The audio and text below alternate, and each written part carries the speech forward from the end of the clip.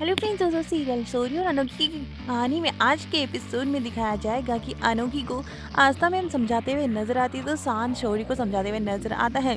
लेकिन यहाँ पर शौर्य तो किसी की सुनने को तैयार ही नहीं है और अनोखी को समझ आ जाता है कि आखिर शौर्य क्यों आस्था से इतना गुस्सा है। जिसके बाद सुबह होती जहाँ पर कॉलेज में शौर्य ये कह देता है कि वो अब यहाँ पर अनोखी की क्लास में नहीं पढ़ाएगा।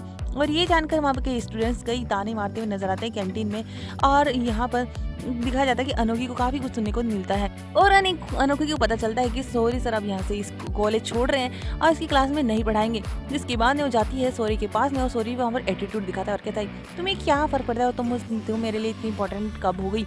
जो मैं तुम्हारी वजह से ये कॉलेज क्लास छोड़ रहा हूँ। और तुम ये सारे लेक्चर्स है ना, उन लोगों को इंटेलिजेंट लोगों को जाकर दिखाओ। और कहते हैं कि सर, आपके इमोशंस तो चेहरे से पता चल रहे हैं कि कुछ ना कुछ बात ज़रूर है। देखिए सॉरी कह देता है कि अच्छा तुम इतनी इंटेलिजेंट हो तो उन लोगों को जाकर समझो, तुम्हारे पास पास बहुत सारे इंटेलिजेंट लोग हैं। तुम्हें तुम्हें कुछ नहीं पता, तुम्हें कुछ समझ ही नहीं आता है। और सॉरी को बात याद आ जाती कि उसने इसकी जान बचाई थी। और उसने जो थैंक यू लेटर है अनोखी ने, वो यहाँ पर आर्यन के लिए लिखा था। और वो गुस्सा होकर वहाँ से चला जाता है। और अनोखी बेचारी समझती ही रह जाती है कि आखिर उसको हुआ क्या है।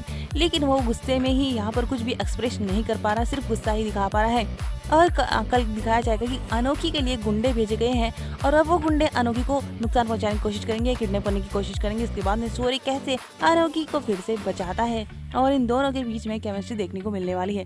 दोस्तों तो आने वाला एपिसोड काफ़ी ज़्यादा धमाका दे रहा है। आगे के एपिसोड की अपडेट भी हम आप तक तो नहीं पहुंचाएँगे तो कल चैनल को सब्सक्राइब